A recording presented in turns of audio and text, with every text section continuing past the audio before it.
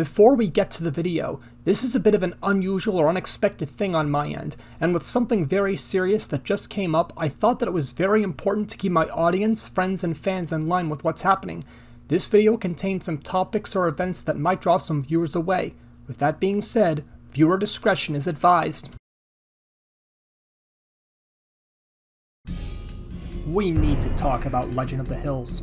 This asshole's been getting away with a lot of things within the Thomas community, but just recently, they've gone way too far. And to some of the people who are out of the loop of this, don't worry, this whole video is pretty much going to have an entire slideshow of all the crap they pulled off. Over the past few days, it's come to my attention that Legend of the Hills has been posting some content of mine behind my back, and without my consent. It was a cosplay or crossplay of Samus Aran from the Metroid series that not many people in the Thomas community, or here on YouTube for that matter, were familiar with. I was only comfortable posting this cosplay in a Facebook group dedicated to the Metroid series.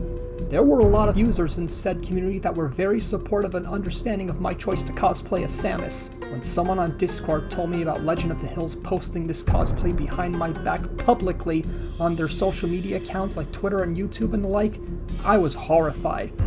I did not want anything, anything with my cosplay posted on my main social media accounts because I had a feeling that a lot of my followers and friends wouldn't be comfortable or interested in seeing it on their timelines.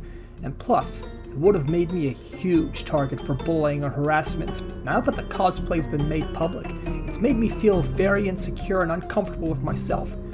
People are now going to look at me and think that I'm a total creep people aren't going to be friends with me anymore or watch my content, they'll end up betraying me. Not helping is the fact that I can get very anxious easily at times. I'm... I'm very heartbroken over what happened. And it's going to take a really long time for me to recover from this. It really is. Some people have stood on my side over the last few days because of what happened on Twitter, and I'm very grateful for you guys. You've been very supportive and you're awesome for reaching out and helping me out during this time. But I don't know. I'm still very scared about what happened and what my future will hold in the Thomas community. And to all those people who actually still follow or support this piece of shit on social media, let me ask you this. Why do you support them, huh?